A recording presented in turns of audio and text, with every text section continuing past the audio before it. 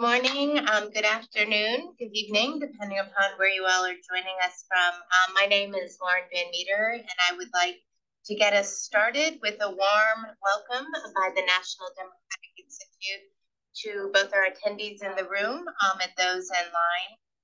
NDI is privileged to provide a forum um, for Rebecca Shoot and Citizens for Global Security, um, as well as her sister organization, the World Federalist Movement, for a discussion on establishing a permanent standing peacekeeping service and a gender sensitive approach. Some may wonder why an organization that supports democracy and governance will be supporting an event on peacekeeping, but I think at its core, um, our institutions share a common interest and principles of accountability, rights, and governance. So with that, I'll turn it over to Rebecca. Thank you, Lauren, and thank you so much to all of our hosts at NDI. Um, I have to say that it's a particular and personal privilege to be back here almost 20 years after I began my career at the National Democratic Institute. And while some things have changed, certainly there's been some renovations and upgrades, um, certainly the ethos and the commitment and the passion of NDI's staff and the resonance of its mission remains today. Um, so today's program is born out of the recognition that for decades, my organization and its counterpart, along with many others in the global community, have been working for sustainable peace solutions. And what we have found over preceding years and with precedents from UN peacekeeping forces um, and endeavors to date is that there are quite a lot of lessons to be learned, positive, negative, good, bad, and ugly. And so here we are today to discuss the gender implications, the victim-centric approaches, and the community-based models that could be applied to something like a United Nations emergency peace force. And to chair our session today, it is my privilege to introduce uh, my friend and colleague, Augusto Lopez Claros, who is the Executive Director of Global Governance Forum. He's an international economist, economist excuse me, with more than 30 years of experience in international organizations, including most recently at the World Bank, and for the 2018-2019 academic years, he was on leave from the World Bank as a senior fellow at the Edmund Walsh School of Foreign Service at Georgetown University. And I'm afraid, Augusto, if I went through the rest of your bio, I don't think we would have any time for the interventions from the floor or discussion. So if you'll forgive me for abridging um, your wonderful experience, and I give the floor to you. Um, thank you, Rebecca. Thank you very much. Um, and thank you for being brief in the, in the presentation. I want to divide my remarks today in two parts. I'd like to talk a little bit about the history of the idea of establishing a, peace force. And then I want to jump into the, the, the whole gender dimension, which I know is your primary interest. Um, actually, if you go back, this idea of establishing uh, some kind of international military force or peace force is, is actually more than a century old. Um, in the discussions that took place leading up to the creation of the League of Nations, there was actually an active debate about about you know creating such a force. In fact, um, the former prime minister of uh, France, Mr. Léon Bourgeois, who is seen by many as the father of the League of Nations, um, perhaps together with Woodrow Wilson, you know, in the in the draft of the covenant that was ultimately, you know, the founding document for the for the league, you know, there is the idea of of creating an international peace force that would actually be a perm, you know, would have a permanent international staff. It would, it would be um, organized in a, in a, multilateral basis. It would be in charge of training, implementation, deciding you know, when to intervene, and, and so on. Um, and in fact, at that time, perhaps because we were in the middle of World War One, there was a great deal of uh, um, sense of, uh, you know, tragedy uh, against the 18 million fatalities of that conflict you find that in the public debate, there was a great deal of openness about contemplating, you know, these ambitious proposals. And, uh, you know, very, very much strong support, for instance, in France. There were a number of polls that were done about widespread support for the idea of establishing a peace force. But eventually the idea died because President Wilson and Robert Cecil uh, in the United Kingdom, you know, were opposed.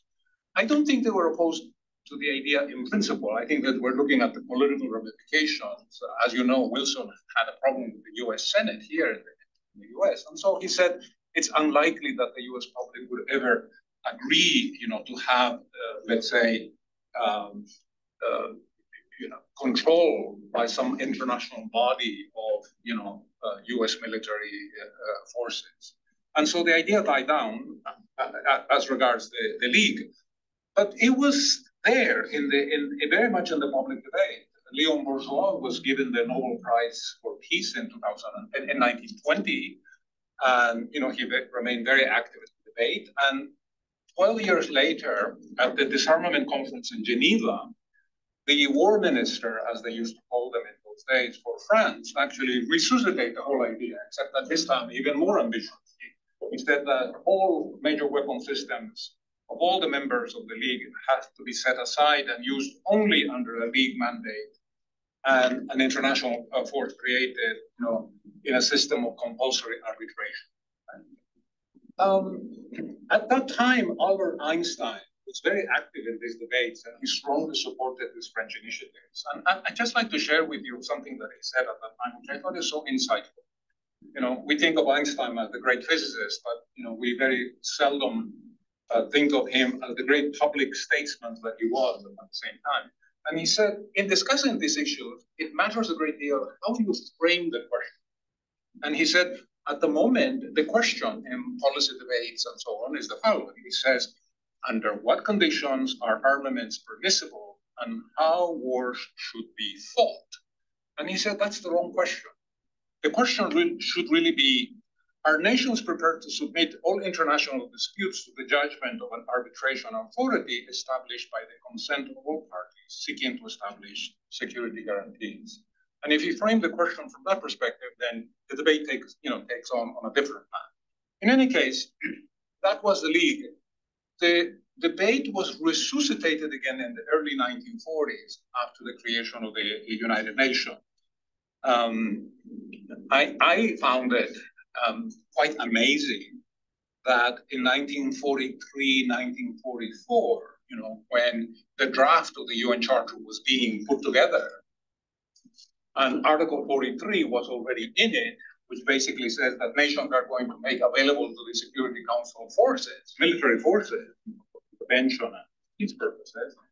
The US government at that time was considering or was, was thinking, what kind of a commitment are we going to make to this Article 43? And the kind of thinking that was taking place in the State Department and within the defense establishment was we're going to make 300,000 troops available. We're going to make 2,000 aircraft, 2,000 plus aircraft available. So, you know, when you when you look at the history later on, you know, it seems amazing that they were thinking in such grand scale uh, form. But you know, they took the, their commitments to the UN Charter seriously. And uh, I don't need to tell you that nothing of, of, of that sort ever came, came back, came forward. Russell, Bertrand Russell, who together with Einstein and Clark were very active in those debates at that time, said something which I think remains true today and will remain true for the foreseeable future. Russell, a philosopher, he was a, a mathematician, he was a logician, and this statement seems like a mathematical theorem, and I just want to share with you. I, I love it because it's so so um, persuasive. He said, "Wars will cease when and only when it becomes evident beyond reasonable doubt that in any war the aggressor the aggressor will be defeated." And coming from that from that vantage point, Russell and Grenville Clark and Einstein at that time when the when the UN Charter was about to be adopted were desperately making the case we need to have an international peace force in parallel with the process of disarmament. The two need to go hand in hand to create the kind of um, environment in which the UN would be able to deliver on its peace and security security promises. Okay, now moving on. Um, let me, you know, the, the, the, the, historically, women have not been allowed to join the ranks of the military. You know that very um, you know, we're coming out of a period of literally hundreds of years where essentially war, war fighting, the military was essentially a male domain. Even today, um, when you look at the US and Canadian military, 17% are. 83% are men. In China, 5%. In the India, depending on what service you look at, you know, the Air Force, the, the, the you know, the Marine and so on, is somewhere between 4 and 14%. So we still live in a world in which the military is essentially a male-dominated uh, uh, sort of province. Now, why is it that the issue of gender in the military, you know, is actually a very important consideration as we move forward into the future. And here I want to share with you some very interesting facts. They are partly drawn from studies that have been done. Um, they are drawn from my own insights as an economist working for many years at the World Bank. All right, and I just want to quickly quickly share with you, and then come back to, to, to the issue of uh, gender from the military perspective. Um, we know from data uh, compiled actually at the World Bank uh, in the department of which I was the head for many, many years until recently, that countries that have more forms of discrimination against women, you know, through the law, embedded in the law, you know, we have a huge database at World Bank that captures this for 190 countries.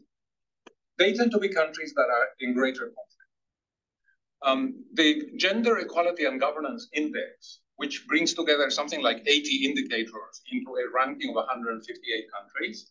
If you look at the 17 worst performers in the index, in other words, the countries where, where the gender gap is the biggest, where there is greater discrimination, where the condition of women is the worst, Iran, Afghanistan, and, and you know, I won't give you the list, but you can imagine it, right? 14 of those 17 countries, are, uh, are, are basically conflict, conflict related. In other words, there is this connection between you know, persecuting and discriminating against women on the one hand and the, the prevalence of conflict.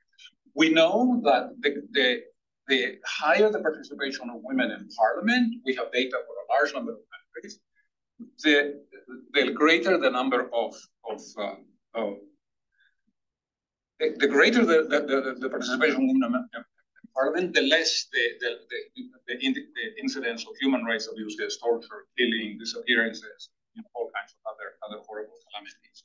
We know from the criminology data that populations in jails are, are largely male populations. Right? It, it, at the World Bank, we have plenty of data that suggests that in general, you know, uh, men are more prone to violence, more prone to conflict. They're also more corrupt. That data comes up very, very, very much. There have been a number of studies done on women in the police, um, police forces. Uh, here in the US, they are less likely to use violence. They are better able to reduce tensions and forms that do not involve shooting people, killing them. Um, there have been uh, studies done looking at 40 peace processes in 35 countries. Um, and the result is very, very clear. The greater the number of women's involvement in negotiations, the more likely have lasting lasting agreements. And the classic case of this is the Good Friday Agreement of Ireland in 1998. You know, the, the, the story there is, is, is, really quite fascinating. Um, Catholic and, and Protestant women came together, they, they formed a political party, they won a few seats uh, in, the, in the parliamentary election, they got a table at the a seat at the table of the negotiations where the where the peace treaty was was was eventually uh, agreed. And people have gone back to the to the minutes because these were informal peace negotiations. But, you know, no people, there were no takers, and so you know exactly who said what when, right? Over a period of many many weeks, and it's really fascinating to study. Whereas the men were generally interested in, uh, you know, um, sort of where is the limit going to be, or or know, who's going to take care, care of the weapons? Or, you know, who was responsible for that bomb on that year, that month that killed 20 people, right? You know, looking at issues of the past and attribution of responsibility and guilt.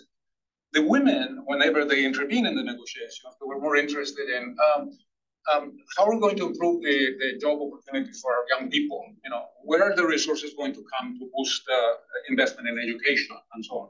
Forward-looking, um, generally thinking in terms of the welfare right? And, and I think this kind of studies, I am convinced, eventually precipitated, you know, the Security Council Resolution 1325, which called for greater involvement of of women. I think that if you have armies and the military where you have more of a presence women, um, you know, surely they, they will be better able to help female victims of sexual crimes and gender-based violence, which, uh, which as you know is very much a feature of conflict in, in, in today. You, you've seen the attack, the attack on October the 7th in Israel by Hamas I don't know whether you've been following the literature, but you know, it's evident that rape was used as a, as a weapon during, during those attacks. And then, of course, you are more familiar with the examples of what happened in Papua New Guinea in the 1990s, which I believe somebody will be talking about later today, and then the Liberia Civil War in the 2000s, um, where Christian and Muslim women came together, uh, you know, in nonviolent protest to bring that civil war to an end. So whether you look at it from a security point of view, from an economic point of view, I think you know societies are are likely to gain a great deal from the greater participation of women um, in in um, in this kind of discussion and and and uh, and you know certainly certainly in terms of, of the economy. What kind of things would I like to just to conclude? What kind of things would I like to see you know in the future uh, moving forward? Um, well, uh, I think it would be nice if our military was more open to the participation of women, and in particular, um, in, in, the UN context uh, uh, among peacekeepers. Um, I think that part of the abuses and the, and the, and the um, uh, you know incidents of, of, of rape and uh, abuse of women partly reflects that the peacekeeping forces, by and large, have been you know very much male male in composition. I think that if you had more women in them, you know, you would attenuate some of those problems. You would have more women who take a more vigilant role in, uh, you know, trying to prevent those calamities from happening. Um, I think that um, it would be nice to see the promotion of women within peacekeeping forces to leadership positions. Um, at the moment, if you look at the structure of the leadership within the peacekeeping forces, it's very much male, dominated. And, and just more generally, you know, stepping back from, from the military itself, if you just look at, at you know, what the data is saying about the discrimination against women in the world, uh, although we have made progress in the last, say, 20, 30 years, um, and again, drawing on studies we have done at the World Bank, you know, we looked at, for instance, the, the status of women in respect to the law in 1960 and in 2000 10 over a 50 year period. And it, the progress has been remarkable in, in, you know, especially in Africa and Latin America and many parts of the world, in creating a more level playing field for women. But there is still a huge gap. There is still a long, long way to go. And, and so I tend to look at this as a half, a, glass half empty, so to speak. And, and I think that we, we just need to do a great deal more to eliminate many of these discriminations because they have dramatic implications. Just to conclude, you know, at the World Bank, when you look at the data for 190 countries, for each country we have a number that says these are the, the, the ways in, this is the, these are the number of ways in which the country is turning women into second-class citizens. So in Iran, that number is 24. Right? We were able to identify in Iran 24 different ways in which the civil code, the constitution, basically discriminates against women in a very objective way. And because we have this number for 190 countries, we can correlate it lots of other things. And what we discovered is that the higher the number of discrimination, the, the, the lower the labor force participation. The higher the number of discriminations, the lower the school enrollment rate of girls. The higher the number of discriminations, the larger the wage gap between men and women. The higher the number of discriminations, the lower the level of women-owned businesses, which tends to impact, you know, adversely entrepreneurship and so on. So the data is very compelling. Right? So we need to we need to move into a world in which in which uh, we have less male-dominated governance structures because we have paid a very high price many centuries for that. Okay? We live in a more violent world. At the, Thank you so much, Augusto. Um, and as we move from uh, that incredibly edifying and um, provocative set of opening remarks, I'll take the opportunity to do a little housekeeping as we proceed with our agenda and our panelists. Um, we're delighted to be joined online from folks all over the world, as well as in the room here at NDI. Um, this is being recorded, as you will have heard when you join Zoom, and I think it's abundantly clear to those in the room. Um, and will be available after the fact um, as well. We, after our panelists, we will move to a discussion portion of the program. We kindly ask those of you online to use the Q&A function. We will be monitoring that. My colleague, Alan Ware, Um, we'll be calling on you when it is that time in the program. And for those in the room, obviously, we would love to hear your thoughts and contributions as we open that up. And so we'll switch between online and, um, and in-person interventions. Um, Augusto, would you like to introduce our first speaker or shall I take that privilege? You. Okay. Um, so our first panelist, uh, due to personal reasons, had to alter her schedule and won't be joining us live, but has graciously recorded her comments to share with us today. Um, Madeleine Rees, um, um, an Order of the British Empire, is a lawyer and current Secretary General of the Women's International League for Peace and Freedom, as well as a visiting professor at uh, UCLA and the London School of Economics. Uh, she was a whistleblower in the Bosnia UN human sex trafficking scandal has worked nationally and internationally to advance human rights, eliminate discrimination, and remove obstacles to justice. In 1998, she was appointed as head of the Office of the High Commissioner for Human Rights, Bosnia and Herzegovina. And while there, she helped expose human rights abuses and the involvement of UN peacekeepers in sex trafficking. And incidentally, in the 2010 film The Whistleblower, about these events, she was portrayed by none other than Vanessa Redgrave. Uh, so with that, I think we will turn to the filmed intervention by Ms. Madeleine Rees. Deepest apologies for not being there in person, but I have got other things that I have to do in terms of the scheduling commitment. Um, but I'm really delighted that you're having this panel. There's so many interesting elements to discussing peacekeeping in its various forms. And I think it's very important, first of all, to just to give an overview very briefly that not all peacekeeping missions are the same. They are made up of different components and they have different mandates, self-evidently the mandates coming from the Security Council. And all great intentions, all of them, you know, nobody wants to have an ongoing conflict. So the idea of having a peacekeeping force is to try and keep a peace. Problem number one, there often isn't a peace to keep. There are still warring factions which somehow inserting a group of people from other countries wearing, wearing uniforms, carrying guns, is seen to be one of the answers. But that's not the only model um, I want to talk a little bit more about the, the differences of approaches that have been by looking at the Bosnia model, and because that's where I have most experience, um, to see how and in what way peacekeeping can embed itself within communities and fundamentally change the way in the future of that country in terms of its need for peace can then be influenced by the very presence of those peacekeepers and often in a very negative way. We then have the Bosnia type model where there was a peace agreement and then power was given through that peace agreement to various elements of the United Nations, including the Department of Peacekeeping Operations, and then that enabled part of peacekeeping operations to be a militarized police force, which was essentially there to train the existing police forces. So at any one time, at the beginning of the transition from war to peace in Bosnia, there were more than 60,000 men in Bosnia from goodness knows how many different countries wearing different types of uniforms, some military, some police, all of them able to have freedom of movement within a country where nobody else did. Um, and ostensibly having mandates which gave a considerable amount of power to those who were in Bosnia, um, effecting those mandates. Now, you'd say, well, what's the problem with that? Um, number one, when you've had a conflict too much of it, most of it, nearly all of it, is about power. Who's got it, how they use it, what they use it for, and how they want to subjugate the other part of the population. If then what you do is you send in yet another set of power holders into that situation, you are creating another set of blockages, if you like, as to who can actually exist and enjoy freedoms underneath that.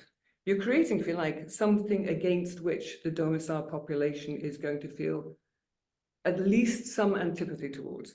And I have to say, in Bosnia, the number of, of women, particularly I spoke to, who said, when I first got there, um, they were conflicted because part of them wanted to see an armed convoy going past because they knew that that was going to keep them safe from any possible the possibility of the continuation of the conflict from which they had suffered enormously.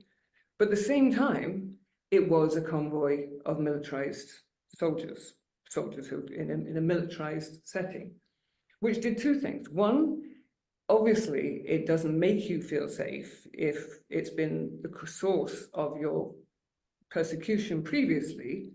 But the other thing it does, it causes a disequilibrium within the society itself.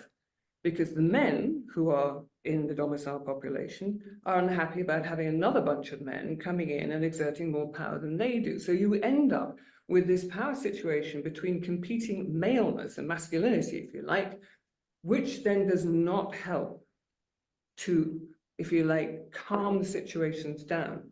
So it's got a sort of a, a social, cultural, gendered dimension which is out with the actual economy and political and politics of the actual uh, spaces they're trying to create. So that's one. And then you had in situations like Bosnia, and then we could go on and make a list of every single peacekeeping operation you have ever seen, and that is none of them have avoided sexual exploitation abuse. Uh, Bosnia was particularly pernicious because it was not only sexualized violence, but it was trafficking for the specific purpose of sexual violence, aided, abetted, and facilitated by UN peacekeepers.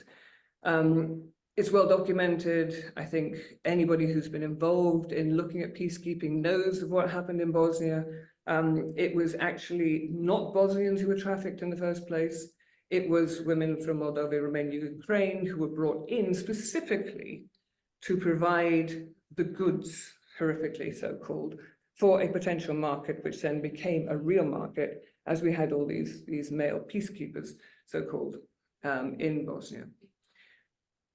That in and of itself led to massive distortion in the local economies because by and large, just about every village had some form of a cafe, a, a bar where women were being held, you know, often uh, even even as basic as as um, petrol stations, um, where women were being held and where predominantly peacekeepers to start off with, because nobody else had freedom of movement, could go and uh, and use those women. And entire communities became dependent on the revenues from, from that activity. So you'd have the local guys who would work in the as as doormen. You'd have the local guys, taxi drivers. They would go pick up the girls and bring them. So was a whole industry which was entirely in the black economy, entirely illegal, entirely unpoliced, of course, which then led to the creation of this black economy in Bosnia, which is still alive and kicking. So it actually led to this incredible economic distortion. Now, we could go on for ages explaining how that then has ramifications for the future economy of a country which is post-conflict. But clearly, it's, it is very negative add in the fact that the, you know, essentially then the reputational risk to the United Nations of what it was doing was so he so potentially desperate that there was a massive rush to shut it all down. Anything, any discussion of it, any evidence about it, anybody who was found to have done it was carefully just shoveled off to another mission somewhere else. Enter stage right, the, one of the other problems, this lack of accountability means that people who have are suspected of having committed offences or even found of committing offences will then be moved to, could easily be moved to another mission. And that happened on, on several occasions. Um, and as a result, what you're doing is you're pushing the same problems to another country. And one of the reasons, I just want to talk a little about accountability, one of the reasons there is none is because of the insistence that it's the troop contributing countries who have to take responsibility for the accountability and prosecution of crimes which are committed by their countrymen in those countries. And it doesn't happen. They don't even have to report to the UN. So the UN should actually be very clear and say, if there are allegations and if you do not report, you do not send troops to peacekeeping. And one of the reasons I think that's important to say is because so many countries get a lot of money from the UN. It's a big money earned, it's part of the GDP of many of these countries that they are able to send peacekeepers, and so they don't want to not be able to send. So it's not just please, please give us our, give us your troops to go and be peacekeepers. It's more, you know, we can control this. You don't get to send if you don't ensure that your own people are not committing crimes in somebody else's country and having no accountability for it. This is, I think, where I come to my much more important point, if we're saying, well, I am asserting that it's structural, you can't have a conflict which is militarized always and which has a huge gender dimension and creates power in the hands of those who use violence in order to attain it, it's not going to work if you replicate that model at huge expense. So huge expensive peacekeepers following a militarized model, doomed to failure, doomed to have to stay in those countries in perpetuity because you're not going to get peace. So what if, what if we thought it differently? Now, there's so much research that's been done that on the issue of gender equality, which when it's in its reductionist form is basically looking at women and men, is that we're not as sophisticated as we need to be, otherwise we wouldn't be talking gender equality, we're talking gender. But anyway, um, if we use the language of gender equality, what we're really saying here is that we need to be paying attention to the political economy in communities so that the violence within those communities is undone by moving towards a reduction of the imbalances of power. The research done has shown quite categorically that when that happens, you have more peaceful societies. Well, if we know that, why aren't we giving it the necessary nutrition to make it work? We're talking basically social and economic rights. Why is it we're not looking at that from a gender perspective? And if you look at the, you know, the brilliant work of Jacqui True and others who have looked at how political economy within the household is so distorted in terms of who owns the house, who owns the tools, who brings in the money, all the rest of it. The work is often done by the women, but the power is held by the male. It starts there and it spreads then into the rest of the community up to and including who controls the physical power. Change that, you've got a much more possibility, much greater possibility of reaching uh, peaceful communities. So if we actually put money into those who are real peacemakers by actually doing the changes, doing the social reproduction, holding communities together, you would have fundamental change. And it would not cost in Bosnia 128 million a year, you know, 128 million to do militarized peacekeeping and what 2 million, 3 million at most to support women's organizations who are actually doing the work on the ground. And even that fizzled out very quickly. But those are little tokenistic things which are not then seen as being valuable because our vision, if you like, is skewed towards looking at a particular way of doing peace building.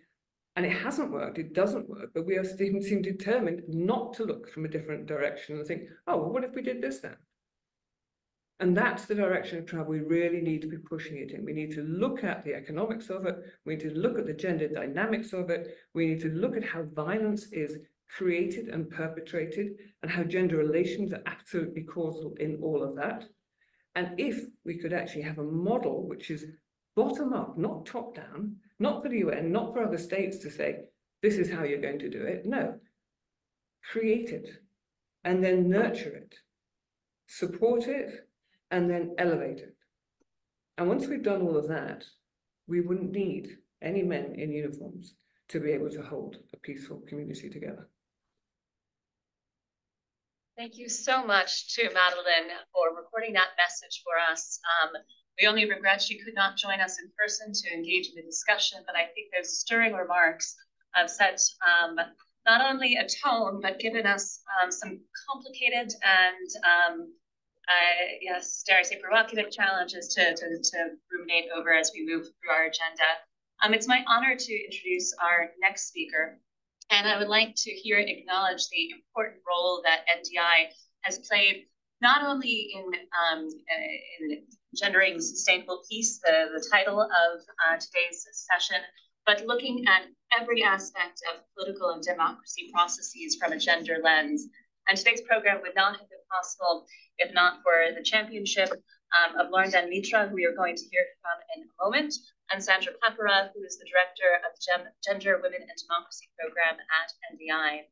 Um, so Lauren is the director of Peace, Climate, and Democratic Resilience. She's a peace and security expert, having worked on major diplomatic initiatives, peace and conflict resolution processes at the Pentagon, the State Department, the U.S. Institute of Peace, and the Atlantic Council.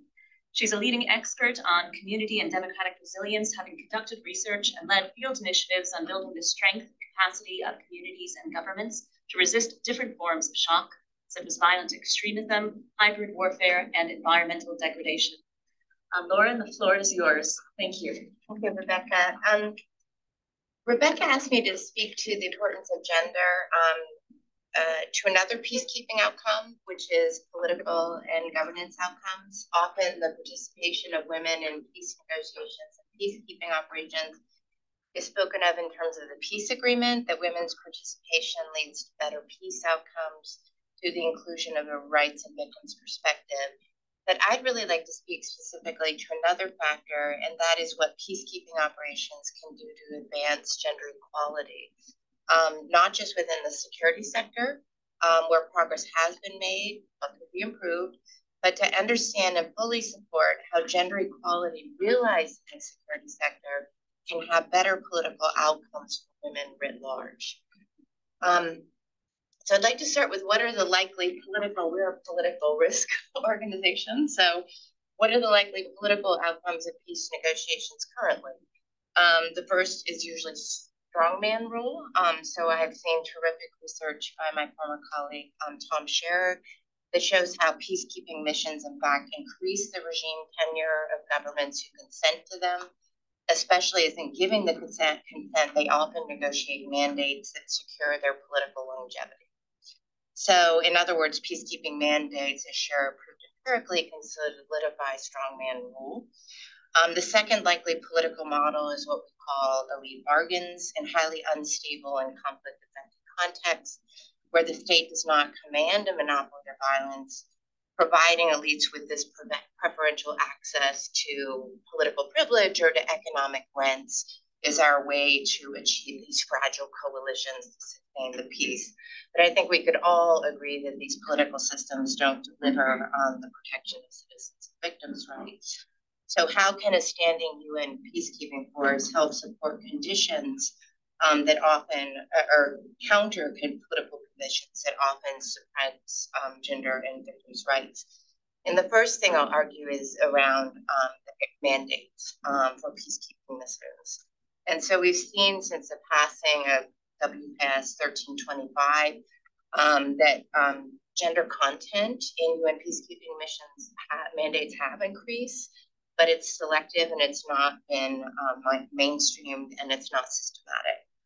Um, so we know that negotiations of mandates um, is opaque. It uh, elevates above all the need for consent by the warring parties but we've also seen really committed member states in a global women's civil society movement that's had a notable impact on peacekeeping mandates and their commitment to gender. And this really needs to be built upon. Um, an analysis of UN Security Council resolutions on specific country reveals um, primarily um, language relating to women's protection, um, but a persistent bias against gender equality um, and that gender mainstreaming is uh, mandate in mandates is often ad hoc and usually occurs in conflicts where there have been high levels of conflict related sexual violence, but not in other contexts. Um, so I think that the architecture around a permanent peacekeeping force committed to gender mainstreaming and gender equality in missions writ large could do much to mainstream gender equality systematically throughout mission man mandates. Um, first there would be, uh, and in doing so, this would influence peace outcomes as well as political outcomes as well. First, there would be rhetorical commitments to political outcomes other than strongman rule and elite bargain, bargains by mainstreaming gender through all aspects of the mandate. And then we know that mission priorities and programs do follow mandates so they could be actualized. Um, the other area I think that actually falls out nicely with Madeline's talk that I was going to talk about is that then what could permanent um, peacekeeping um, units uh, do in terms of the implementation of local peace and security processes? And what we see right now is sort of a movement by the UN um, in terms of considering these expansive peacekeeping mandates and top-down technical stand, uh, state building approaches for a real focus on the political economy of conflict, just like Madeline said, and how do we create the conditions for peace by managing political power relationships on the ground. And I would say if this is the direction of UN peacekeeping, that it's really imperative that any permanent UN peacekeeping force be adapted um, gender political economy analysis. And what do I mean by that? Which is that peacekeepers need to be adept at understanding how gender has shaped access to political power and conflict, and how political power um, in peace um, is also being affected. And just a few ways that a gender um, uh, informed um, political economy analysis would look like, I think, in action. It gets a little bit to security sector reform. Um, so we know from research by USIP's Resolve Network and other um, research uh, efforts that women's role in security groups are diverse and extensive.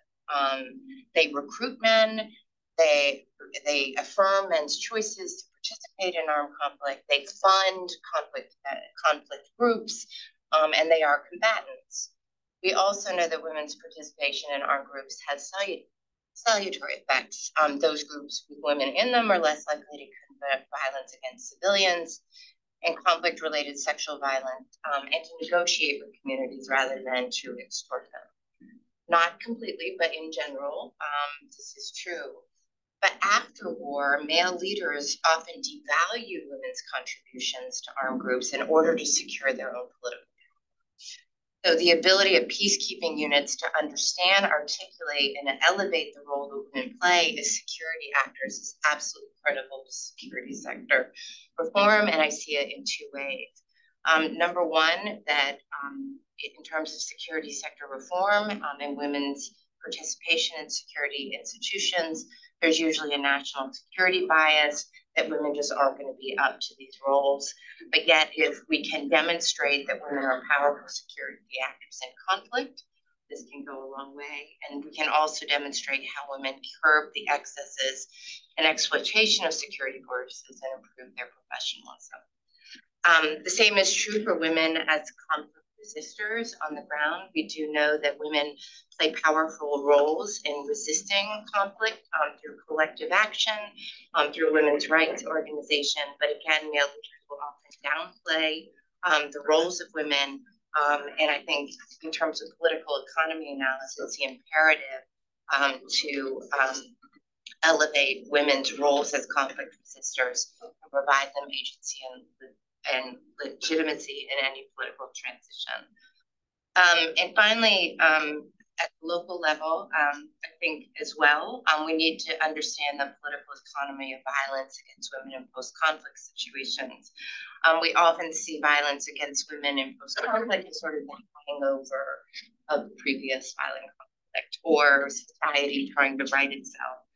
But at NDI, we recognize that violence against women post-conflict or the failure to achieve accountability for CRSV is in fact a political strategy by political actors to chill women's political participation. Um, so PKOs have made great strides on protection, but more needs to be done on accountability and CRSV, not just for peace, but for governance goals of participation. Um, and then the final thing I would say um, to any permanent peacekeeping unit um, is that while peacekeeping missions are increasingly committed to ending sexual violence against women, um, we must become equally aware of and committed to new forms of violence against women, such as online online violence. Um, this online violence, um, if we do a political economy analysis, it is meant to drive women out of public life while also sending a message that women in general should not be involved in politics.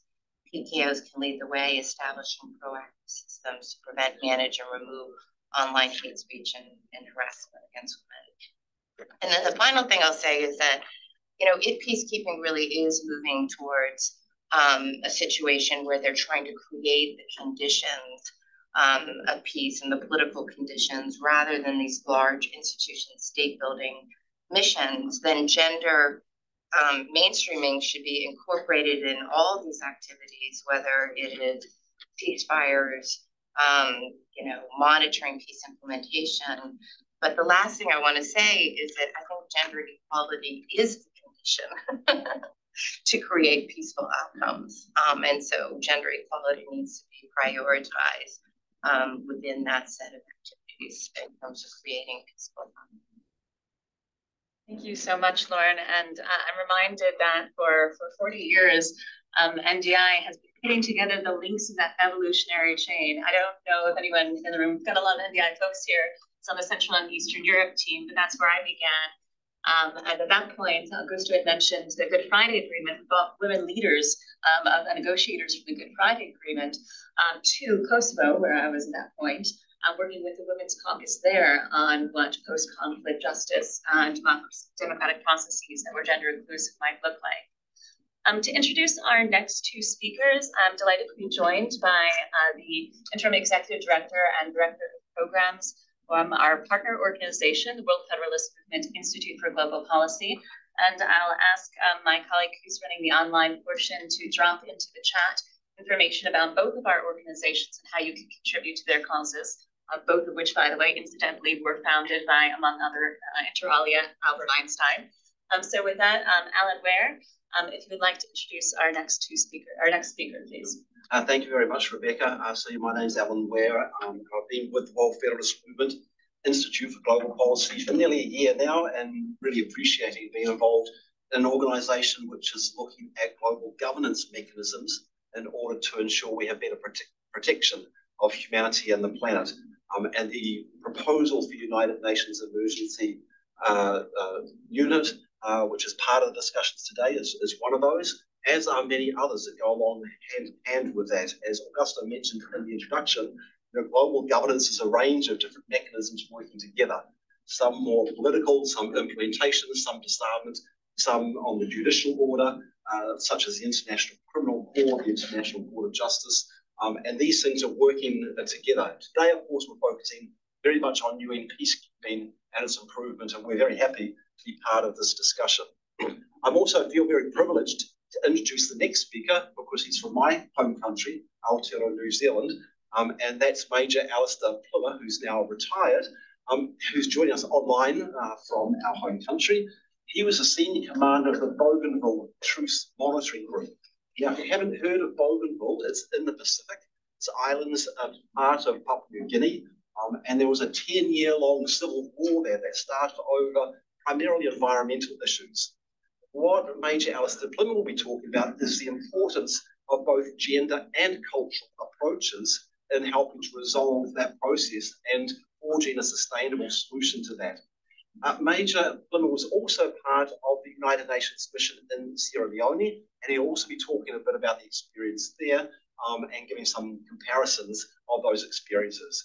Major Plimmer, the floor is yours. Thank you very much, Alan. It's, it's nice to see you again. Um, and to my fellow panel members, thank you very much for the invitation. And um, if I could just say, I I, um, I made some notes before I started uh, when I when I got the invitation, and some of the headlines I had was the things along like rapid response force, existing political and social structures in the countries, um, the issue of UN policies not being enforced, um, and an issue of um, a professional force versus a conscript force. Um, and a lot of those things have been touched on today, but I, I suppose, uh, and I've made some notes as we've been going, and Madeline's um, presentation I thought resonated with me for a number of reasons, and some of those I'll touch on. Um, but I suppose the first thing to really understand about military conflict, excuse me, is that no two conflicts are the same. Um, and um, there is a very fundamental difference between peacekeeping and peacemaking um, and structures that do one are not necessarily going to be available to do another. Um, and that sort of leads into the issue of a, a rapid response force. Uh, as to what are you what what is the intent of that force? Is it to make peace or is it to in, ensure that the conditions of peace are maintained? And to do that the structures of those forces would be very different um, and would also depend on the country in which you're going into and what the in, initial or what the existing political and social structures are. Um, and I can talk a little bit about the differences between the peace, um, the truce making in Bougainville and um, and in the United Nations in Sierra Leone. Uh, interestingly, I was also uh, spent a year in the Middle East with the United Nations Truce Supervisory Organization uh, in Sierra Leone, in uh, the Golan Heights and South Lebanon, uh, which is quite topical at the moment, as everybody knows. Um, if I could uh, also just make another comment that um, it seems to me that we have forgotten the lessons from the end of the Second World War about um, rebuilding countries after conflict. Um, and if you look at the um, uh, Iraq War uh, in the 1990s, um, the efforts to rebuild that country seemed to completely cast aside all the lessons that were learned about rebuilding after Nazi Germany and in Japan and start rewriting the, book. And of course, as we all know, it's completely failed. Um, and we've got a effectively a failed society there now. Um, I think the other critical thing before I get on to specifics is that uh, what is really interesting in, in any situation is there actually needs to be amongst the warring factions an actual desire for peace. That is absolutely critical. And if the if the warring factions uh, don't trust each other and don't want peace, it doesn't matter how many military forces you put in there or whatever you do, it will not succeed. And you just have to look at the fact that the the MFO and UNTSO have been going since um, oh, since Adam was a boy, I think. Uh, and there is no end in sight to those UN missions. Um, and if anybody says there is a desire for peace in the Middle East between the different factions, I think you need to go and have a look on the ground because there really isn't. If I come to Bougainville, um, the, the issue that really resonates with me, uh, and Madeline talked about it, um, is the issue of power. Um, Bougainville for us was very much a situation where our diplomats under Don McKinnon and John Hayes had created an atmosphere, um, I think, where, excuse me, where the people of Bougainville themselves had just had enough. Um, and, and it was largely led because Bougainville is a matriarchal society where the women actually owned the land and owned a lot of the structures. And so were absolutely integral into the political environment in which we were going into. Um, and to suggest that you could do something without the women, uh, the, the situation would have failed completely. Um, the, and, the, and the issue about um, military forces coming in and dominating an area, as Madeline talked about, she's absolutely right. Um, in Bougainville, um, the issue of guns was highly uh, contentious. Um, and we made a decision from a New Zealand perspective under Roger Mortlock. And I have to say that Brigadier Mortlock was a genius in the way he designed this, was there were no guns on the island from us at all um, in the entire time. No weapons of any sort were taken onto the island.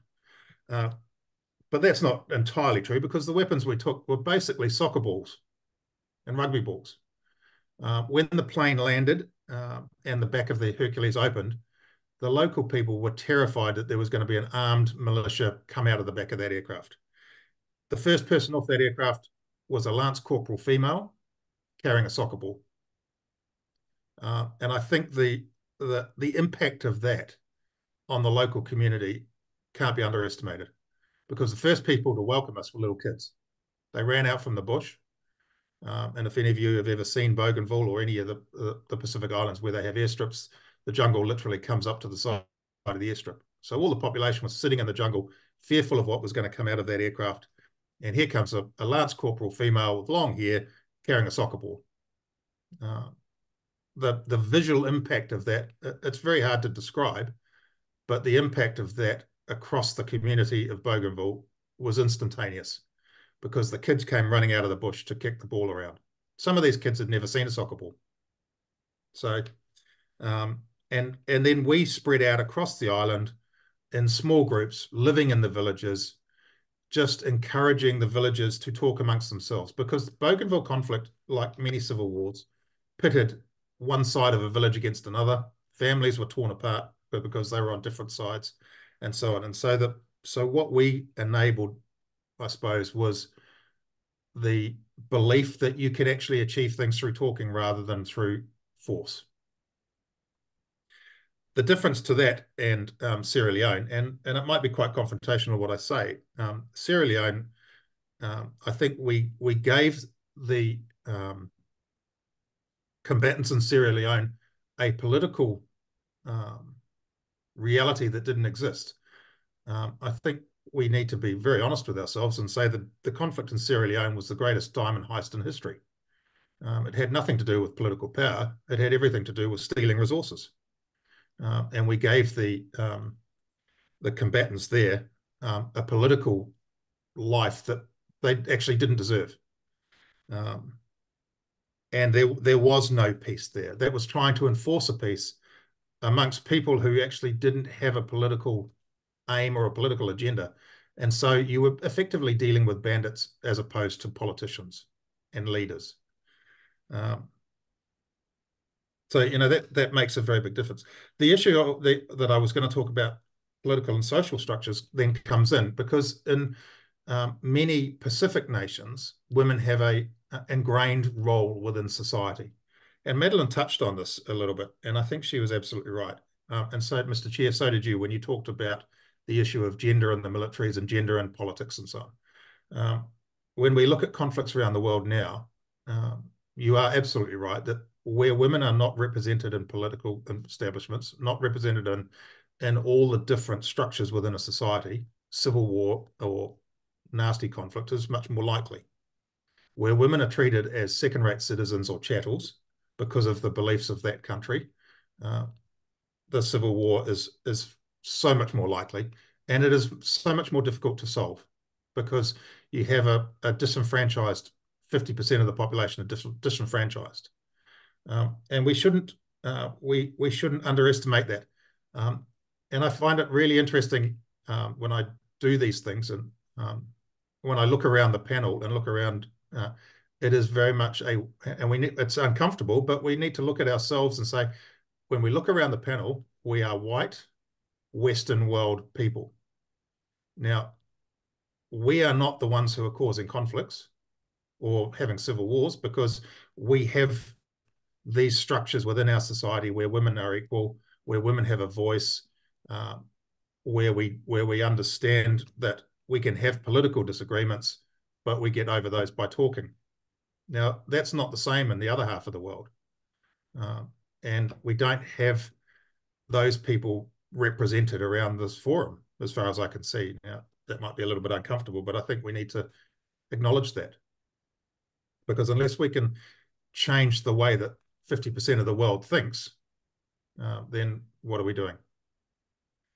Um,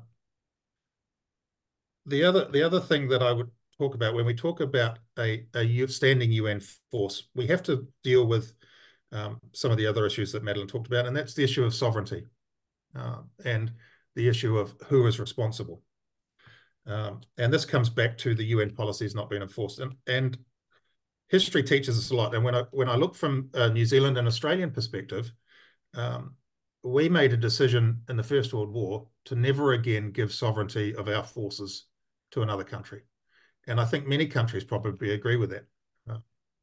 I don't. I don't think our society would accept um, the disciplining of um, our forces by a third country. Um, America is in that position. They they haven't signed up to the um, to the international court.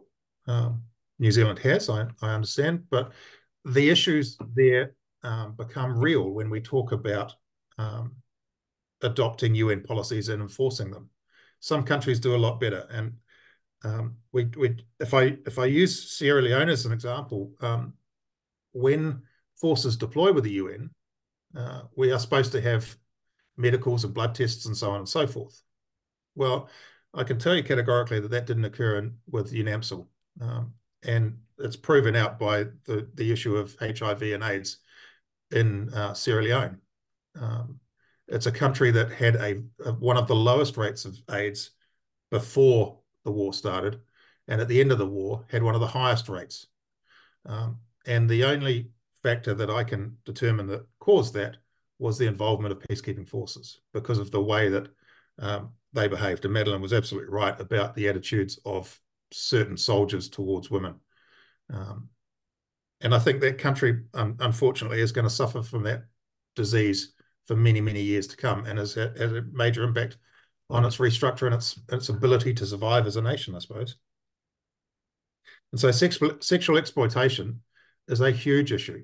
Uh, and it, um, whilst we probably look at um, Bogan, uh, sorry, um, Bosnia as a um, example, again, we're looking at it through a white Western lens. And I think we forget that in a lot of the conflict zones which are occurring in Africa and the Middle East, there is that gender bias and that issue of sexual exploitation is critical to the warring factions.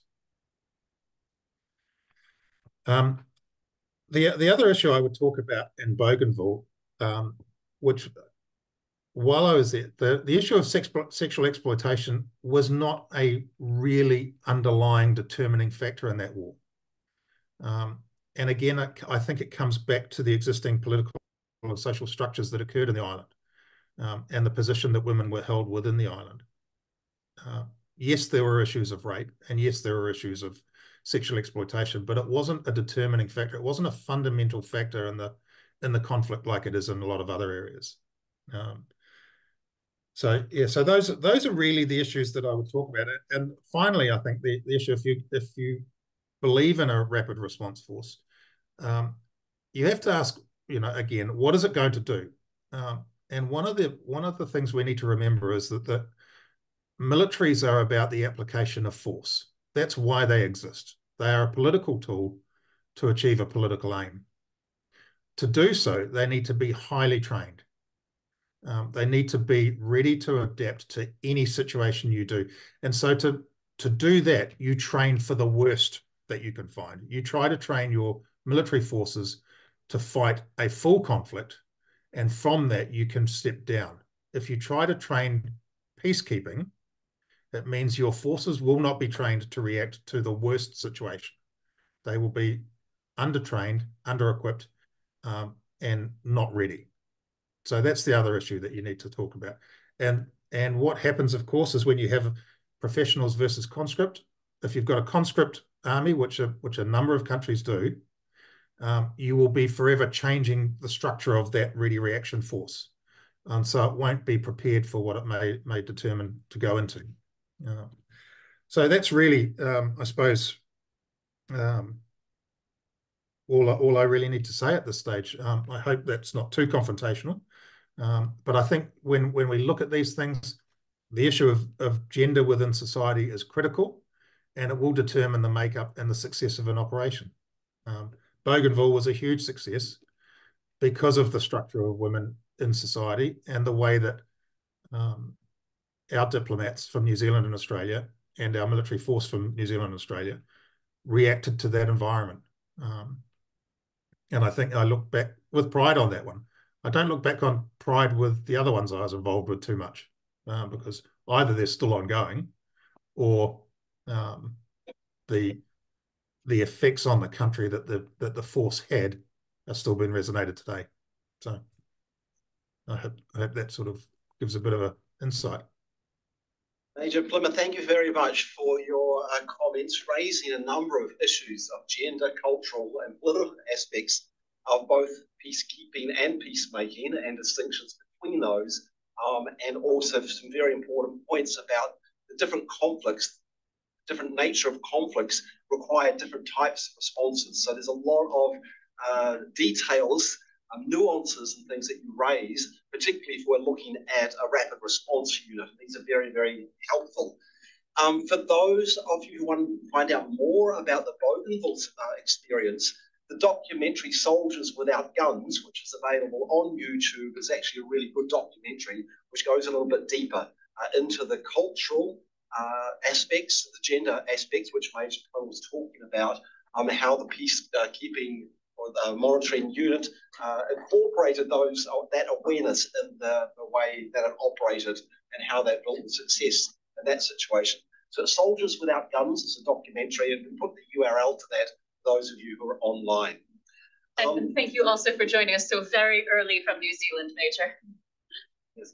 And our final pi- uh, panelist uh, also online is uh, Valeria Barbara, who's a legal and advocacy officer at Women's Initiatives for Gender Justice, uh, where she advocates globally for gender justice and accountability for sexual and gender based crimes, including in peace negotiations and justice processes. So she will look at some multi pronged approaches uh, to these issues. Uh, Valeria, the floor is yours. Uh, many thanks to, uh, for the invitation to contribute to this timely discussion. I hope you can uh, hear me well. Uh, otherwise, please notify me and I'll, um, I'll, I'll try to change the settings. Uh, so I would like to start with a general reflection that uh, any any endeavor to reform UN peacekeeping and any um, any effort uh, towards peacekeeping missions must be rooted in the recognition that peace is not merely about the absence of war, but also about the presence of justice and respect for human rights. And as such, there can be no peace without respect um, uh, for rights of women, but also all those affected by intersectional vulnerabilities, including but not limited to gender. We're also talking about uh, such grounds of discrimination or of vulnerability as race, uh, ethnicity, age, socioeconomic status, etc. So we heard earlier uh, accounts about less successful peacekeeping missions. We also heard about some successful approaches and advances, which we welcome.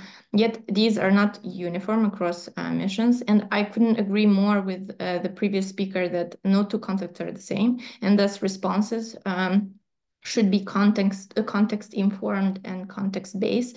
Uh, but I uh, think you would agree with me that in terms of inclusion and respect for human rights, we must strive for consistency and uh, improvement.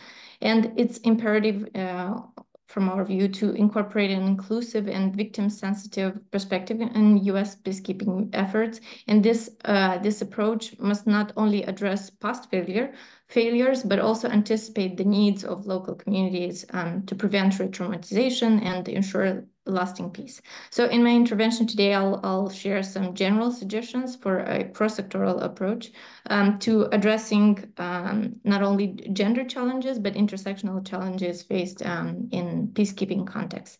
So Firstly, a key aspect is to ensure that gender responsive uh, leadership is not just about promoting gender parity uh, or parity uh, and representation, but it, it's also about transforming the culture of peacekeeping to be truly inclusive and intersectional.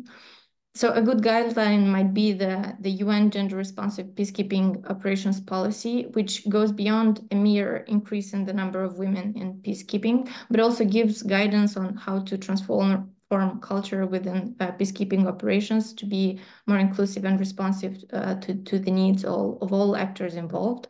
And um, focal points who serve as technical uh, experts can support the coordination of inclusive strategies across uh, all actors, civilian, police, and military components in uh, peacekeeping missions. Secondly, uh, training and mentorship programs should be in place that equip peacekeepers with uh, the skills to address the complex realities of gender and intersectionality in conflict zones. And even in cases where peacekeepers might be familiar with some of the aspects um, of the conflict zone that they are operating in, it's still crucial for them to enhance knowledge and skills on, on um, the intersecting um, vulnerabilities uh, which might, might have pre-existed in a society uh, and might have been exacerbated by conflict and how these intersect in, intersect in the life, lives of civilians and other parties involved. Um, so the UN provides specialized training materials and, uh, and reinforcement uh, training packages and um, it's important um, to to make sure these are implemented widely and uniformly. And it's especially important to implement this for uh, leaders such as UN force commanders, deputy force commanders, but also leaders at, at all levels. Thirdly, where appropriate, uh, it's important to strengthen and implement uniformly accountability frameworks to address and uh, prevent sexual exploitation and abuse by UN personnel as we heard that this uh, is a problem before. So as per the UN sexual abuse and um, sexual exploitation and abuse accountability framework, there should be clear lines of accountability and action for addressing allegations with specific roles designated for uh, relevant bodies that exist within the missions, including pre mission planning um, and uh, preparation for, uh, to, uh, to, in mission, vetting and screening, as well as uh, immediate victim assistance and investigation procedures. And finally, peacekeeping missions should uh, engage in continuous dialogue with local communities to understand and respond to their specific needs and ensure that peacekeeping efforts are culturally sensitive and uh, victim-centric. And a good example of such a collaboration um, is uh, the Women in Peace Building Network in Liberia, which played a crucial role in ending the civil war and addressing uh, sexual violence. So they engaged communities in peace building efforts and advocated for the rights of uh, survivors, demonstrating the importance of uh, local voices and perspectives. But we've heard some other good examples uh, earlier um, today. So for such initiatives to be in, impactful, they must be underpinned by genuine commitment and empowered by leadership at all levels, uh, as I mentioned before. Um, an inclusive approach is not just about representation, meeting quotas, or uh, meeting some superficial uh, uh, changes, but it's about about fostering a, a deep cultural shift uh, that values uh, diversity and inclus inclusivity. And such transformation requires time and sustained effort, um, and it, it, involves continuous learning, growth, and the willingness to challenge and uh, to change some entrenched be behaviors and norms. So, for example, in the context of a gender-responsive peacekeeping, as I already mentioned, is not enough to simply increase the number of women in peacekeeping forces, but there might, must also be an environment where their contributions are valued, where there's zero, zero tolerance for discrimination or harassment, where their perspectives are integral to decision-making processes. And this requires leaders who not only advocate for these values, but also embody them in their actions and, and policies. And leaders are key in the implementation of cross-sectoral change, of course. They must demonstrate their own growth and development and encourage even the most nuanced uh, cultural shifts and understanding of uh, context uh, yeah, based approaches and must be uh, prepared to resource and support such transformative uh, initiatives over the lo long term uh, as, as such initiatives take often take years to fully realize. So to conclude, we've noted some examples of best practices um, and policies which demonstrate the system's commitment to transforming uh, the culture of peacekeeping. Um, but for future in initiatives to be truly impactful, they must be genuine and empowered by committed leadership with the understanding that uh, cultural change is a long-term process that requires patience, uh, dedication, and a strategic approach. Thank you. Thank you so much, Valeria. And as we move now to the discussion portion of our program, and we've had a few questions come in online, please do use that Q&A function. Um, we'll also take some in the room. Um, I'd like to reflect that um, as we move from lessons learned to the way forward, we are at perhaps what might be a watershed moment um, in terms of UN reform and the opportunity for innovation with the upcoming Summit for the Future and the civil society consultations thereof upcoming in Nairobi in just a few months in, in May. And one of the proposals that has been included in the inter in the People's Pact for the Future is the proposal for um, a UN emergency peace service. Um, we'll put a link to our website where you can learn more about that proposal. And we're also honored, I see uh, joining us online is one of the, the founding fathers of the UNEPS initiative. Um, so with that, I'd like to open it first to questions or comments from the room. And kindly, if you could introduce yourself and your affiliation as you do so. Please don't be shy. Do I see any hands? Yes, please. Hi, my name is Christina. I'm from the Georgetown Institute for Peace and Security. I work there as a research fellow. Um, a lot of my research is focused on masculinity in peace building. And so I wanted to ask and slash comment on kind of the role of not only women, but also gender broadly uh, in peacekeeping. So our research was in Mindanao in the Philippines, which is also a case where uh, we say that peacekeeping and peace building has been very successful. But when we look on the ground, there still kind of remains a lot to be done in establishing long-term gender equality, particularly within um, governance structures and things like that. And one of the things that we found was that this idea of masculinity is one of the things that persists, making it very difficult to achieve gender equality because even if you empower women, but do nothing to change men's beliefs about women, then it's very difficult for, for successes to be made, right? So there was a lot of efforts to give women increased economic opportunities, but no efforts to uh, encourage men to help with reproductive labor in the home, which then ended up having lots of burden added to women rather than, you know, empowering them.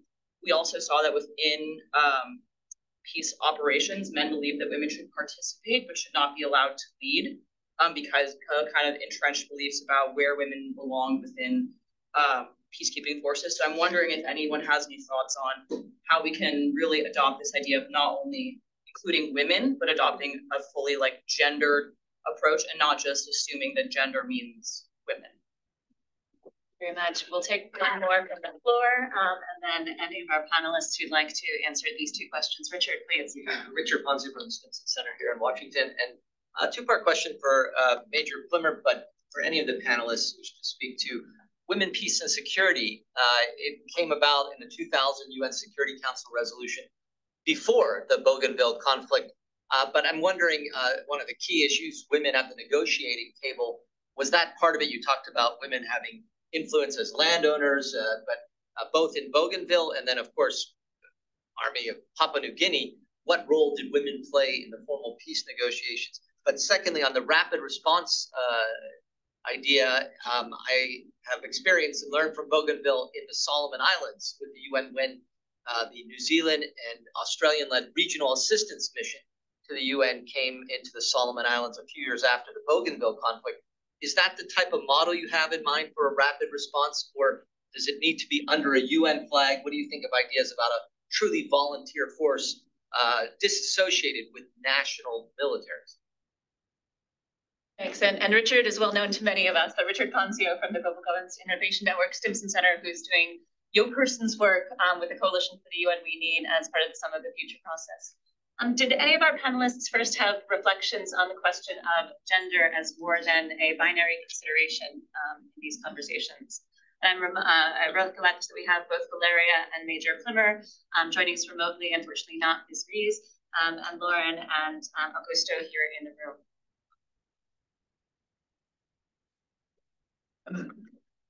I find your question very captivating, very interesting. It addresses, I think, indirectly the question on how does one change mentality. Right? And I have one example, which I have I sometimes referred to, which I think is very encouraging, and then in terms of the things that one can do that over time actually change the mentality and the culture of gender discrimination. And this comes from India. It'll take me one minute to give you the basic data. In the 1990s, the Indian government decided to make it optional for the states. Remember, this is a federal country, for the states to introduce um, a 30% quota for women's participation in village councils. Some states did it, others didn't. And so 10 years later, a team of World Bank and other academic experts went back to India to see whether one could actually see any changes on the ground in terms of uh, you know, the introduction of quota. Two things were discovered. One was that in those uh, states that had introduced the, the quota and were therefore the participation of women at the decision-making level was you know, much greater, um, the structure of spending within the village councils had changed in a fairly dramatic way. There was a great deal more spending on education, on health, building you know, water wells and other infrastructures that contributed to improve the quality of, the, of life in the community. Whereas in the in the states that hadn't, it was different. More more spending on on you know sort of sports stadiums and national festivities and holidays and so on. What was really interesting is that when the quota was introduced, there was a lot of hostility on the part of because remember, you know, this is a country where that has the biggest pocket of illiteracy. So there was a, a skepticism behind where of that. There were, you know, what are illiterate women going to contribute you know, at the level of the village council, even though they themselves were very, very illiterate. Ten years later, um, there was a great deal of um, uh, sort of support among men for the idea that women should participate in the. They actually seen that the system did not implode, that actually it brought many benefits to, to the quality of life in the community. Men were much more relaxed and, and open to the idea that they should participate. And so over a decade, there was this change of mentality where men were actually realized, actually, you know, this is a good thing for our society. And, you know, the kind of data that has accumulated over the last 20, 30 years about the importance of women in corporate workers, for instance, the IMF has done a couple of studies highlighting the importance of women on the boards of institutions, bank, banking institutions, financial institutions, showing that where they are present in greater numbers, you know, the financial system is much more resilient, better, better able to deal with shocks. Um, I mean, the evidence is just overwhelming, and I think that we should use it. We should use it. We should highlight it. This isn't just a question of principle the evidence that has piled up in terms of the consequences associated with uh, bringing women into decision-making places. It's just, it's just very, very positive. But that's one way to change this, this mental frameworks, which, which sometimes are so resist, resistant to change. Said very briefly on masculinities. Yes, I mean, we ourselves incorporate masculinities training, but I would just add more and more angle to that is masculinities training is actually critical as well for transitioning men who have been defined by violence, right? That is masculine, you know, violence defines masculinity. Um, so to that extent, addressing the violence against men, to your point, to broaden it, um, there's been a relief among men that they can move out of these sort of stereotypes of men as violent individuals and breaking that silence of that cycle of violence against men, which is very often what's Major Plimmer, did you want to respond to Richard's comments? I see your hand. Uh, yeah, thank you. There were, excuse me, two parts to the question really. Um, first one about the role of the women in the peace in the um, the peacemaking uh, and the negotiations. Uh, they were absolutely critical. Um, and um, Helen probably remembers the the Burnham Peace Accord that was signed, um, where Don McKinnon arranged for a Hercules load of the combatants, male and female, to come down to Burnham in the middle of winter. Um, Burnham is in the South Island of New Zealand, which is bitterly cold.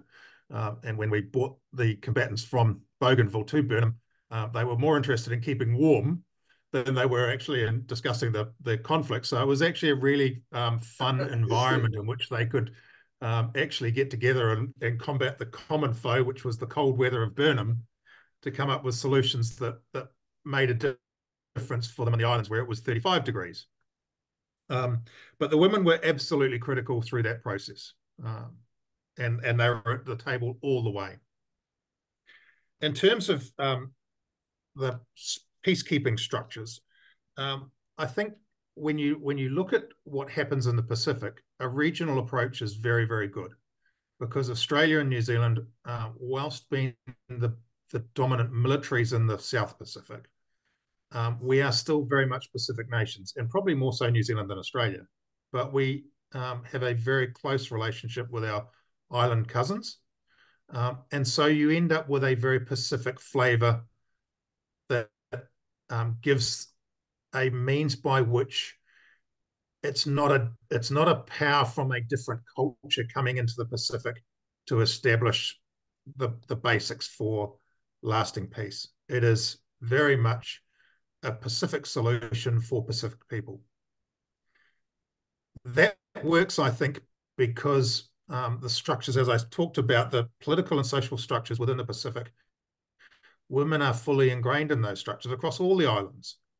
Um, democracy is well rooted across the islands. Um, and whilst we have conflicts in Fiji and Solomon Islands and Bougainville, um, they tend not to be um, massively political constructs, but more, um, for want of a better term, more family arguments that sort of blow up a little bit.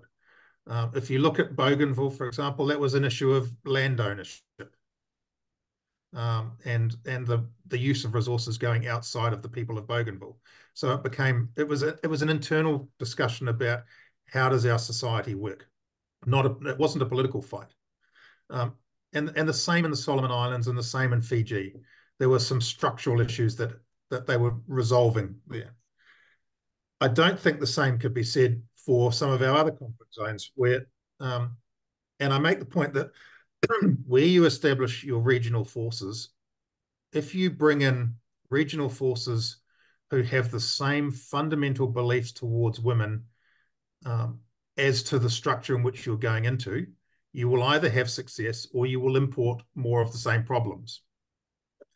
Um, so if, and this will be very confrontational, I suppose. Um, if you bring in peacekeeping forces in Africa, as it happened in Sierra Leone, where women were treated as second-rate citizens, and you bring in forces from Africa where women are treated as second-rate citizens, you just bring in more of the same problem. You don't actually bring in any educational ability or whatever. So you maintain the status quo, which means then you're going to end up with the same problem down the track further. Um, and in Sierra Leone, the problem was exacerbated because of the disease that came with that same cultural um, beliefs from the initial African forces and then the UN forces that came on top of that.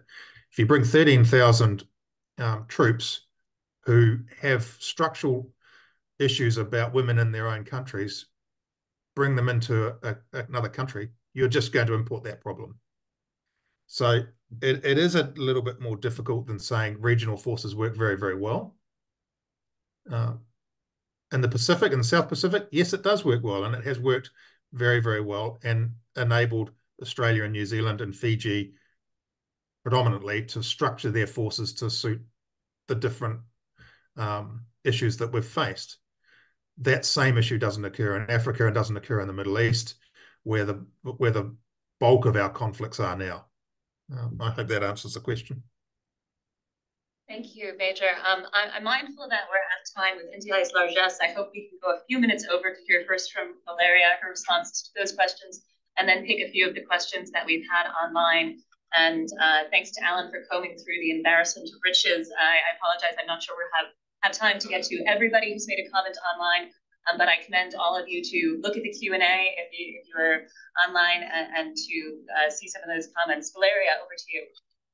Yes, I'll just make a, a small addition here that it might be useful to uh, change the way you analyze a situation from a single axis of discrimination, uh, such as gender, to intersectional um, or more, more just when you examine a situation, it's useful to look for all possible grounds of discrimination or all vulnerabilities that might exist in a uh, certain conflict and also pre-existing the conflict. So what was the state of the society before the conflict has arisen? And uh, once you do that, and I, I can understand that this is uh, an interesting point of view coming from um, an NGO who advocates for gender justice. So this is still a single axis, but we've found in um, uh, yeah in some recent uh, research that we did that um, looking at multiple grounds of discrimination and interest and uh, how these um, these grounds might intersect, um, it just gives a um, opportunity for a much more complex response uh, to to crimes and uh, to conflict. Thank you. Thank you, Valeria. Um, over to Alan. Okay, there are about 10 questions online. I'm sorry we're not going to be able to answer them all. Um, one of them I'll just say had a bit of information, so I'll just say this first and then I'll take two of the questions which seem to have some resonance. Um, from Tad Daley did indicate that there is a, um, a, publication coming out very soon from the Scowcroft Institute at the Bush School of Government uh, on hypothetical future United Nations peace force. So it'll be in that volume, we'll be exploring some of these issues in articles. So watch out for that when it comes. And I guess we'll be giving a notice about it when it's published. Is that correct? Through our newsletters, the Citizens Global Solutions and World Federalist Movement. Um, on the couple of questions, there was one from Keith Best, which sort of follows up a little bit from Major Plimmer's comments about firstly why how the Bougainville uh, situation worked very well with the inclusion of women because women had such a prominent role in society. But what about in societies where women don't have such a prominent role and there's a lot of discrimination? What is the dynamics there? And I think, Major Plimmer, you started answering that when you said, then you don't want to import the same sort of problem that's already there and add to it, but that the what the approach should be educative as well as fitting in. Can you sort of expand on that a little bit more um, when you have peacekeeping uh, coming into societies that are very discriminatory against women how does that dynamic work in, in incorporating women in the processes? Uh, a little bit more on, on whether it can work when it's a very discriminatory society. So that's the first question. I'll say the second question also before we move on. And the second question uh, was from Dr. Sabrina White from Transparency International. And that's relating to the issues of corruption uh, in peacekeeping forces and in the societies that the peacekeeping forces are entering into. Um, and what other ways are is it possible to address and bring in elements of anti-corruption or opposing the or transforming the corruption in that peacekeeping process? Is there cooperation in peacekeeping with some of the initiatives in anti-corruption? Okay, so the first one I think is to Major Plimmer. The second one could be to any of the panelists. Maybe Augusto may take it first. Yeah. And Lauren, yes, of course. Yeah. So Major Plimmer first.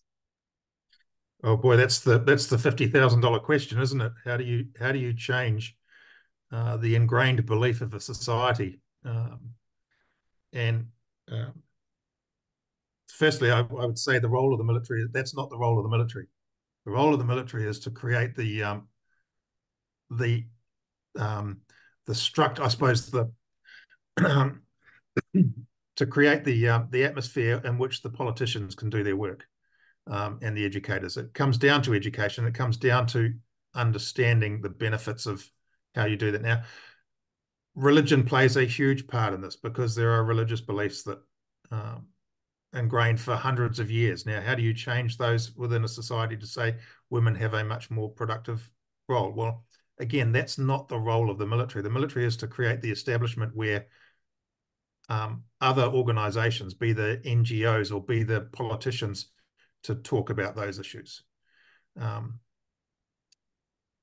if if we could answer the question about how do you change those those societal structures and societal beliefs, well, we probably wouldn't have this panel um, because it is the fundamental question, isn't it? How do you how do you change a society's belief that has led them to have a conflict? Um, I, I I don't know if there is an answer yet, apart from education. Um, you know, education is the, is the answer to almost everything. Um, and when you look at the conflicts across Africa and the Middle East, one of the underlying factors is the level of education in those countries. It's very low. Now, highly educated societies generally don't go to war because they see the they see the um, pointlessness of it. So maybe maybe that's where we start is actually looking at at the education, and it will be generations before we change it, probably. But you have to start somewhere. Thank you, Major. From now to Lauren and Augusto for the other question about the um, engagement in anti-corruption measures as well. And then we have a couple more uh, comments from the floor as well after that. On corruption? Go ahead, and then I'll... Okay. Um, I mean, this is a very, very complex subject, obviously, but, but economists looking at the experience of, you know, policies that have more or less dealt successfully with the issue of corruption in, you know, in countries, uh, have come to a conclusion that it's very important to have systems that have two pillars, reward and punishment. Let me give you an example of what that means. In terms of reward, very often you find corruption, especially in developing countries, because uh, public officials are poorly paid, because uh, soldiers in the army uh, have to supplement their income in unofficial ways because they're not well compensated. And so those countries that have tried to bring in systems where um, civil servants, uh, soldiers, and others are fairly compensated in some way, you know, have managed to reduce the incidence of corruption in a, in, in a better way. Right? There are studies that have done at the IMF actually looking at the the sort of relationship between levels of compensation on the one hand, incidence of corruption. All right, so that's the reward component. In terms of the punishment component, a very good example comes from Singapore. Singapore is a country that has very good rankings in Transparency International corruption prevention. Uh, Singapore is a little bit like Sweden and Norway, you know, low levels of corruption. Right? Interestingly, it's also one of the countries that has relatively speaking, some of the highest levels of compensation in the public sector. Uh, at the same time, it is one of the countries that has some of the most severe penalties against officials who engage in corruption, notwithstanding their high levels. Right? Um, I, I will not go into the details, right? but you don't want to be caught in Singapore uh, stealing from the public purse. Right? You become a non-entity thereafter right? There is virtually no possibility of recovering your good, good, good name, right? So that's the, the punishment component. Um, I mean, there's a great deal more that could be said, what other countries are doing. Chile has used very successfully the latest technologies, uh, you know, to reduce corruption. uh, by making it more, making public procurement much more, much, much more transparent. You cannot sell a good or a service to the Chilean government unless you do it through an online portal, which is 100% open and transparent, right? It's a, a big subject, but uh, one of the sort of leading academic experts on issues of corruption is Susan, Susan, I, I can't remember her last name, I apologize. She's a professor at Yale University. And she has built an entire sort of intellectual tradition based on these principles of reward and punishment. You work on both sides and it works. I mean, the evidence is really quite quite interesting across across many many countries. Rose, Susan Rose Ackerman. I was about to Google. Thank you. So I'm I'm a little humbled by responding to a question on corruption from Transparency International, but um, uh, anyway, I would add to this by saying I think in these conflict contexts, it's very important to look at the um, how corruption and conflict intersect, um, and that um, and I, I, can talk about it in a couple of ways. I think when you do a better job, I talked initially about these elite bargains. Well, these elite bargains and rent seeking arrangements that we favor in these environments lead often to grand corruption. Um, and so we're seeding the grand corruption. Um, so I think there have been a number of innovative ways to help moderate that grand corruption and those rent seeking behaviors. I know in Liberia, um, government officials were required to get the signature of their international counterparts before letting any. We've seen a lot of innovation on this coming out of Ukraine and contracts, etc. Um, but I, I caution that because you know in these transitioning countries there is an illicit war economy that was a survival strategy for people that it often looks corrupt, right? And so you have to be very careful when you attack that method of corruption because you're taking away people's ability to survive the situation they're in. So there's a caution there about, you know, again, conflict and corruption. Um, and then finally, I think that, and this is Rachel Kleinfeld's great work, Savage Order, you have to look at how corruption actually reinforces the political systems of political violence um, in the sense that Kleinfeld says corruption, um, the political leaders wanted corruption because corruption was a way to corrupt the security actors and fuel the violent conflict, right? So corruption was an enabling factor. And so there it has to be not only looking at technical corruption mechanisms, but looking at the political resolution um, to the corruption because corruption is fueling Thank you. Um, as we move to our last questions or comments in the room, I would also commend to everybody who's online a few more of the comments in the chat um, from our friends uh, Dr. Emma Hosong um, and uh, Lily Nkunsamana uh, from the Baha'i International Center. And uh, Lily and Emma, please don't be surprised or alarmed if you have a follow-up invite for us to be panelists at a future event like this. Um, Andrea, also maybe you could put in the chat function uh, a link to uh, Emma's book as well about her experiences with the conflict in Cameroon. So I think we had a couple of thoughts over here. Yes, please. Hi, uh, so my name is Kate Galaire. I work at the State Department in the Bureau of International Organizations, Office of Peacekeeping, along with College Madison. Thank you so much for welcoming us to be here because this is the kind of conversation that really does feed into the way that we're thinking about the future of peacekeeping, which is an ongoing topic and discussion. Um, there are many uh, things that I wanted to highlight in terms of how we try to participate as a member state on the Security Council and also as the largest financial contributor to peacekeeping in trying to shape that tool and make sure that it is supporting inclusive peace processes and effectively protecting civilians and that we're holding uh, troop contributors accountable for um, SEA and other misconduct. And there's there's lots to say there, but um, what I what I really wanted to talk about was to speak to Major Plimmer's point about the fact that when we're um, imposing uh, you know, national forces on a conflict context, and those forces are sometimes reinforcing some of the root causes of the conflict, that's a challenge. And, and the question was, what can we do to improve that? And I kind of wanted to offer a glimmer of hope because there is one program that we're really proud of at the State Department, which is our Global Peace Operations Initiative, which is managed by our, our Political Military Bureau. And I think that that's a great bright spot. And, and it's something that we talked about at the Peacekeeping Ministerial in Ghana in um, December. And we'll discuss it at the next Peacekeeping Ministerial next year. Um, the idea of capacity building partnerships. So GPOI, um, we partner with, I think, around 50 troop and police contributing countries to um, improve their capacity in terms of their equipment, but also training and and and trying to mainstream gender and and lots of different um, topics that hopefully improve their performance in the mission, but also indirectly kind of change the composition of their national forces. And this is a way that through the UN, we're trying to push for um, the improvement of national forces throughout so that they can then respond more effectively um, to conflict. Of course, it's a slow process and, and we're met with a lot of challenges, but I, I really um, find comfort in the fact that a lot of the solutions that we're offering are so tangible. Like for instance, one of the one of the latest projects was to try to provide women peacekeepers with better fitting body armor that, that is not one size fits all.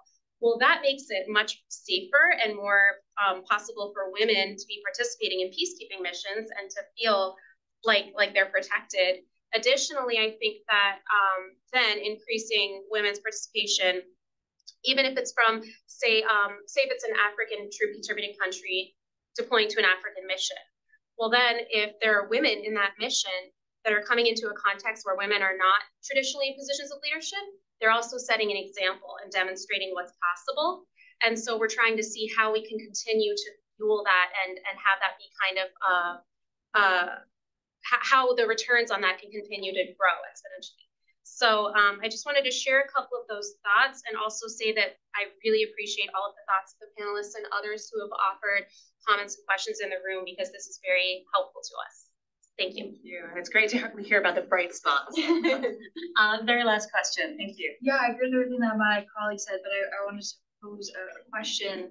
Uh, some concerns that I've heard about the elevation of women in operations is uh, the, the kind of the lack of burden sharing of, of placing all these uh, these grand ideas onto a singular woman in a, a, position of power or a low percentage of women in peacekeeping operations. So I was wondering if you guys could share your thoughts a little bit on some kind of structural changes within missions or the United Nations could undertake in order to, to help support these women and not necessarily make them as the uh, the sole arbiter of these uh, initiatives that we're talking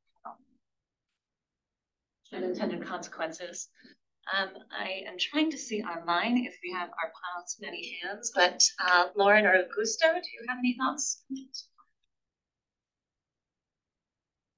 Well, I, I think it gets a little bit to the masculinity training we were talking about, right? Um, where male peacekeepers reconceive their contributions, um, you know, and cultural issues. Um, but I, I also think too, you know, it gets the purpose of the mission, right? Um, and so oftentimes these are not highly militarized missions. Um, so could we reconceive of what um, gender looks like in these missions um, and, and maybe in some ways ungender the gender, right? Um, that if these missions are about protection, but they're about caring for populations, but they're also about, um, you know, operating in difficult environments. Um, what does that mean in terms of gendered roles and reconfiguring what gender looks like, um, roles look like um, within those? Um, Major Plimmer uh, and Valeria, if you're if you're still with us, um, would you like to either respond for that question um, and or conclude with any final thoughts?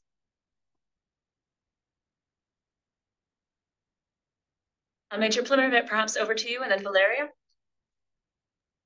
Yeah, look, I, I have nothing to add to that. Uh, so it is, it is a. I, I think it comes down a little bit to mass, um, and when you have one woman waving a flag, she's a target. When you have a million women waving flags, you've got mass and you've got impetus. Um, and you have to get to that stage. But it takes very brave women, I think, to start to put their head above the parapet, as we would say in the military. Um, and we're in that situation. Um, I think the Western world, Western beliefs have proceeded a long way down that track. I think we need to, and I come back to that issue of education. Um, but it's a very it is a dangerous place for women to be in countries that don't have that cultural understanding, um, and we see it all the time that that prominent women in uh, countries where women don't have a political role um, are targeted, um, and that change that gets changed through education, not through military strength. Thank you, Major Valeria. The last word. Yes, I couldn't agree more about the need to um, for any response to be informed by cultural understanding of of uh, the situation at hand, and uh, then yeah, my my other major concluding point would be to try and um, and see uh, not only about uh, the gender aspects of a certain conflict and a situation, but to really try and look at all vulnerabilities uh, at hand and uh, and see how those uh, intersect and what what conclusions we can make and what how can we adapt the responses uh, to those conflicts based on on all the factors involved. Thank you. Thank you so much, Valeria. Um, in conclusion, uh, I would like to, to note or uh, recollect that both my organization, Citizens for Global Solutions, and WFM IGP see an effective, sustainable UN peacekeeping solution as an integral part of a democratic world federalist um, government system. Um, and once again, you can learn more about our organizations from the links in the chat. The chat will be saved, including all of these wonderful resources, especially for those of you um, with us in person who were unable to, to see the links online. They will be concluded in a follow-up package. Um, in addition to thanking our esteemed panelists, and really thank you so much for your insight and your time, um, I would also like to thank the team behind the scenes who make this possible, Kara Joyce at NDI, uh, my colleagues at CGS, uh, Drea Klein-Berkman, James May and Alex Andre, and Vanessa Lentane at Parliamentarians for Nuclear Nonproliferation and Disarmament. Um, thanks also to everybody who stayed for um, what has been a longer conversation, but incredibly rich um, online. We hope to see you again soon. Thank you, and I conclude.